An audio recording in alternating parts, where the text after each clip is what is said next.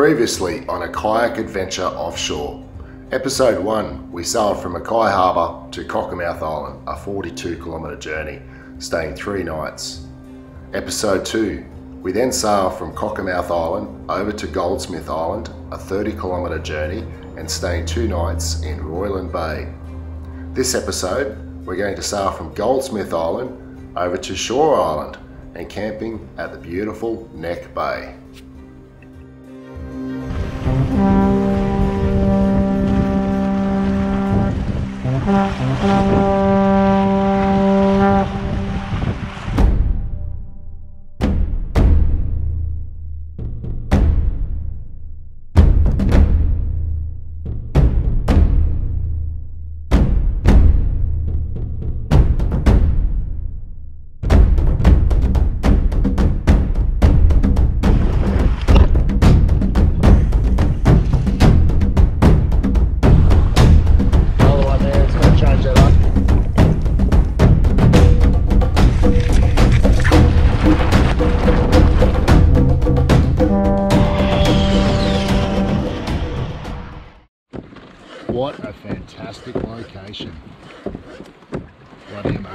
Shame to leave it, but we're going to go from one paradise to another. So as we head over to Shaw Island, right now there's uh, no wind around at the moment. Um, but once we get out of the lee of the island, hopefully um, we get a bit of wind. Damn it! I left my drag off when I left the beach and I'm literally pulling in hundreds of meters of fishing line. I've been here for about 10 minutes now and uh, I'm over fishing already. hopefully the water clears up and uh, I can grab the spear gun and Ah, finally done.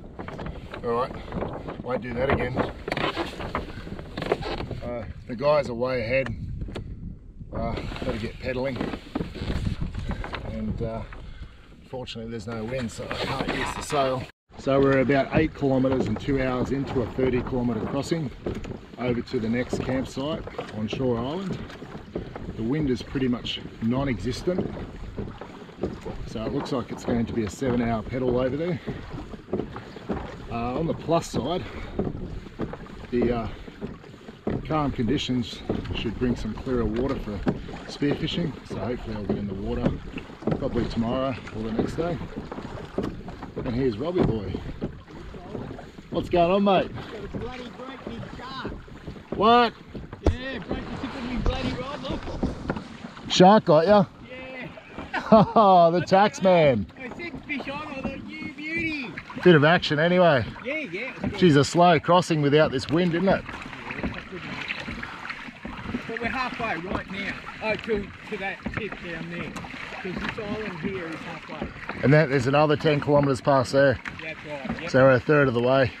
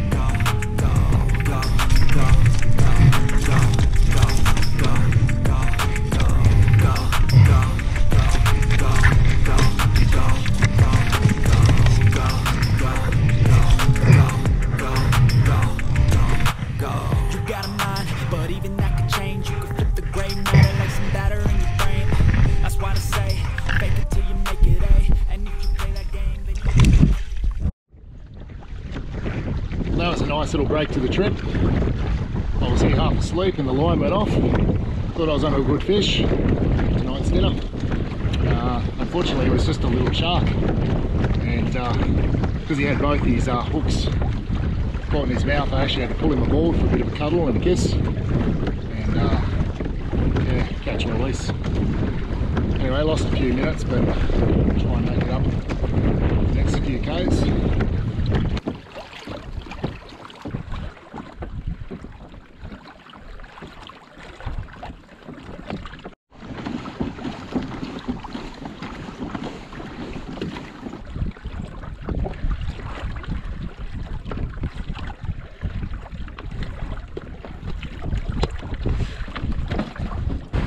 Just made Shaw Island and we're on the western side now. So we've just got a 10 kilometre um, hike down to the northern end of the island and that's where our campsite's going to be. Um, still not much wind at the moment.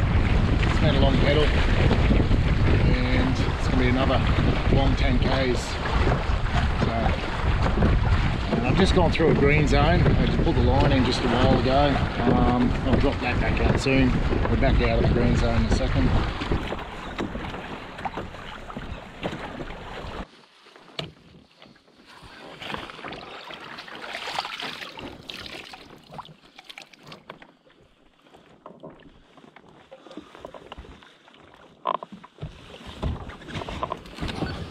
I don't know if you can see, but it's quite shallow here.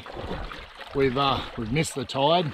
It's three quarters of the way out because we had no wind on the way over. The trip was quite slow. We just had to utilise the Mirage drives to get here, and uh, probably took us about six to seven hours to get over, as opposed to four hours with the sail. So that's okay. Just, I'm just going to push this thing close. The other guys have already landed. Doesn't look overly good ahead of me, so I better focus on what I'm doing last thing I want to do out here is uh, damage the craft.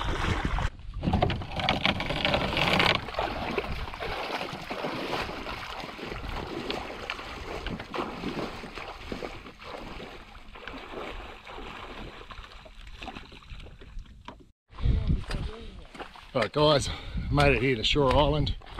As you can see, it's low tide. So we missed the tide by quite a bit. That's right. Wait for the tide to come back in this afternoon. Then we're going to bring the craft up the beach. In the meantime, we're going to go and try and find a, a campsite in this beautiful spot.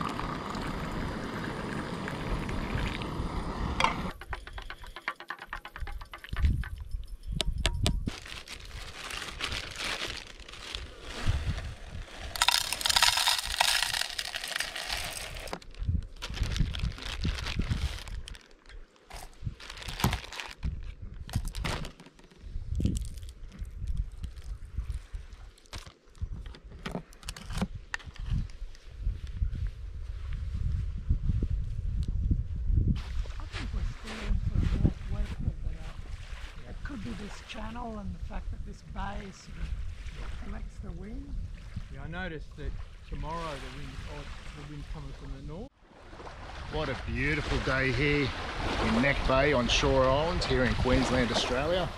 This little piece of tropical paradise. So we got here yesterday afternoon.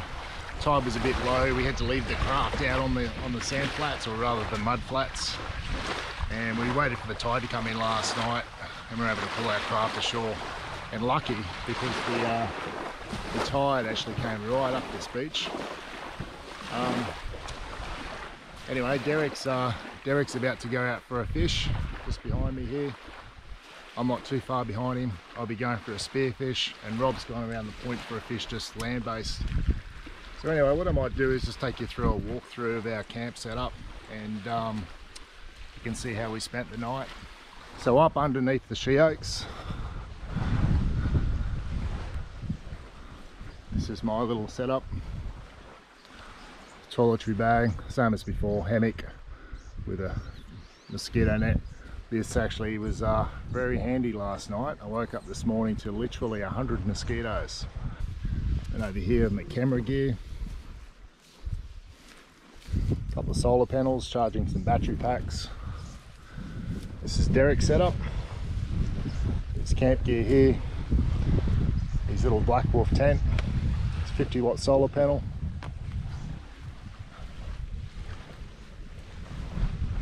Bit of a mock setup for a camp kitchen. Pretty basic, does the job. Morning Derek, Morning, Mark. How's it going? fish on today? A hope so. He's a hope so. Somebody's got to get us dinner tonight. And then up over the back here. Put Rob in isolation. no, we actually found a really, really nice little camp camp spot. Nice sandy spot for his uh, one pole tent. I don't know if you guys have seen this before, but Rob's uh, Rob's got this tent, literally one pole.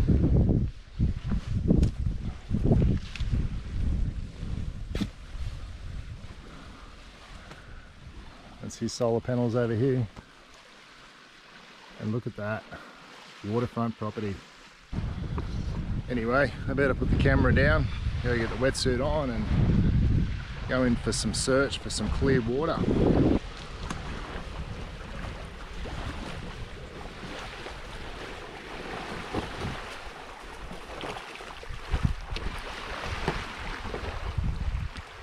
Derek's out on the water already and uh, he's just gave me verification that there is a little bit of clarity in the water. Um, so that's a good sign. Um, conditions right now, westerly wind, probably only around five knots. Um, yeah, it's looking good. Hopefully I'll- be in the water in less than 10 minutes.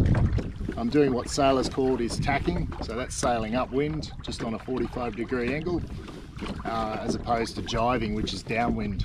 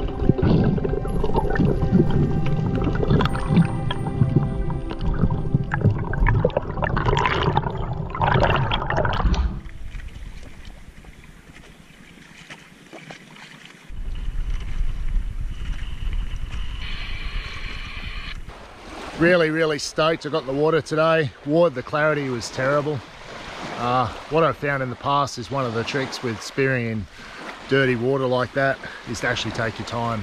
Move really slow, lots of dives to the bottom, sit and wait for the fish to come to you. Most of the time the fish are uh, quite inquisitive and they will come up to you. Managed to get a couple of coral trout and a tusky. So I got this trout here, it's 43 centimetres and this one here is 37 centimetres. Legal size of these trout 36, so this one's just over. And this little tusky. So this little tusky was, uh, although he looked small, uh, still still measured up. Uh, legal size in that is 36 and he was 36 and a half. Anyway, that's uh, got lunch and dinner there and I was pretty stoked actually. Um, got some fish for the guys and then I just got on the radio to Derek and he's just informed me that he's got a big long-tailed tuna uh, and he said there's probably eight kilos of fillets there so we're going to be flat out like a lizard drinking uh, consuming that today and tomorrow morning so.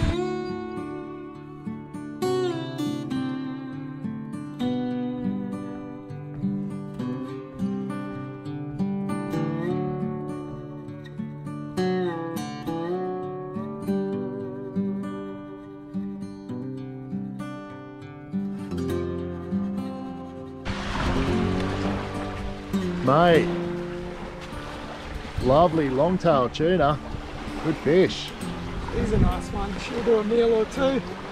Well done. Got two beautiful calamaris for you. I've already prepared them. Two, two pieces like that. Oh, nice. Good? Yeah. Well done. So we've got calamari, tuna, coral trout, You got a fish. trout? Yeah. Ah, if it, oh, beauty. Is that good? Oh yeah. High five, everyone. Yeah, I want to go. So we've done pretty well today. We've got ourselves some uh, seafood. We've got more than enough, but we're going to try and eat as much as we can. So we've got an island esky. That should keep our fillets cool. And Rob has been kind enough to catch us some calamari. So how are you prepping the calamari, mate? Uh, very simple. Make sure it's really well cleaned. Cut it into rings. Look, I've just got some spices. I've never tried these spices before. It's used normally um, just salt and pepper. We coat them. and we gently run our fingers through it. Get it hot. It only takes a couple of seconds. You don't muck around with calamari. By the time I put these in and turn them over, they'll be done. Can you just uh, dust one of those with a bit of sand for, for Derek? Oh, come He likes his with sand. on, Sam. If you haven't got breadcrumbs, this is the next Yeah. best thing. yeah, the second one I had was a bit chewy, but the Yeah. first one was spot on. Yeah, good. Let's try 'em. Pretty good, mate. The- The second uh, longer was better. Good, okay.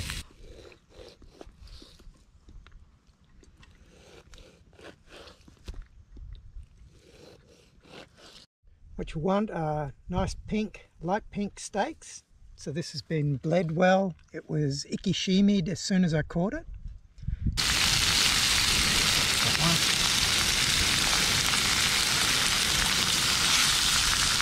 Choose things in the middle. Good recipe, mate. Complicated. Complicated recipe. Yeah. Difficult. A little bit of salt, a little bit of heat. No sand? No sand. Not in this recipe.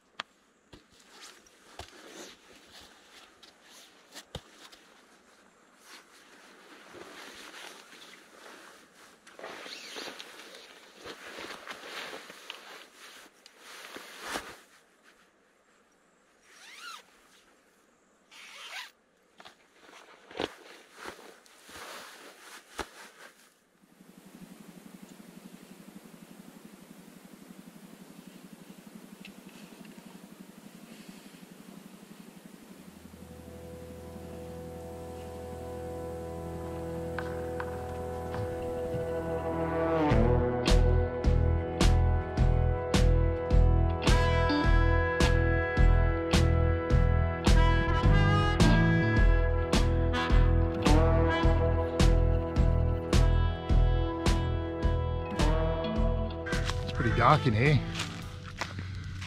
So we've had a good feed of fish.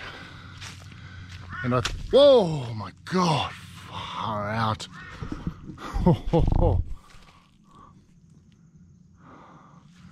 wow, that is one big spider. And I'm so scared of spiders. Um, focusing again.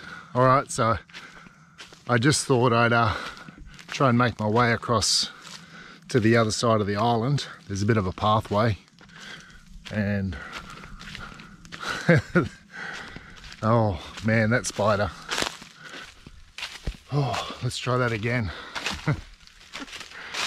um, so yeah, I thought I'd um, try and trek across the island to the other side. Um, it's, it's a quite a short walk. Where we're camping is actually, there's a bay on the western side and a bay on the eastern side of the island. So it's a very short walk. Literally here right now.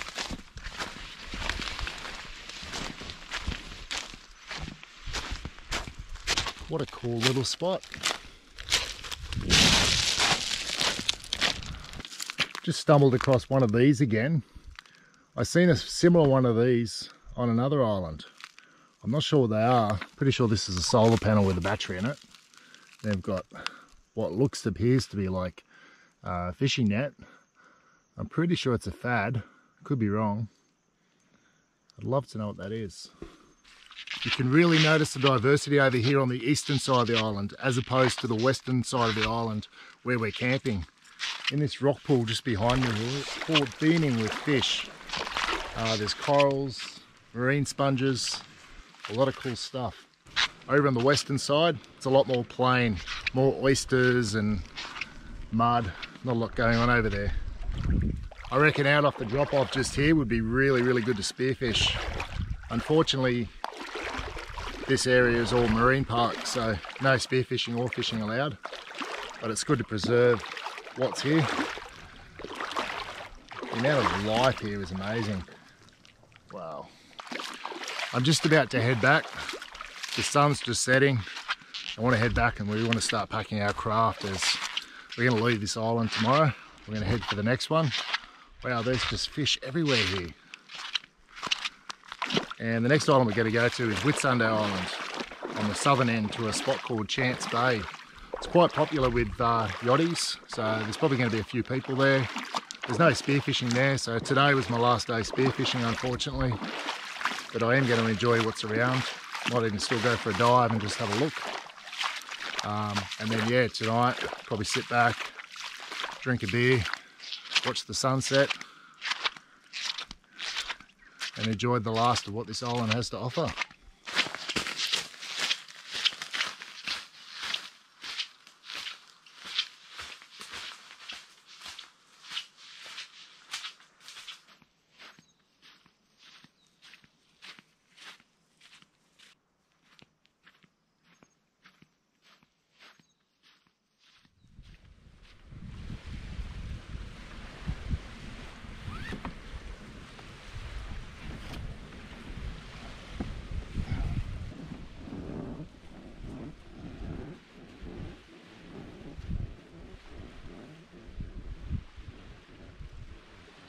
Another beautiful morning here on Shaw Island. The wind's been blowing from the northwest last night, so this bay's all a little bit stirred up. Final preparations are being made by the guys. We've got our craft down to the water, we're just lashing a few things down, and then we're off for a 20 kilometre crossing over to Whitsunday Island. We're heading to a spot called Chance Bay, quite popular with the yachties. Um, yeah, we're estimated with the wind on our sail, probably take around four to five hours. Hopefully the weather's kind to us and we can get some wind on the sail.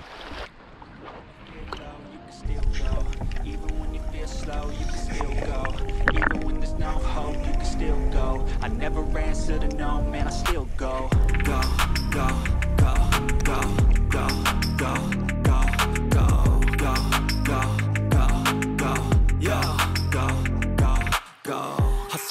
hustle every single day.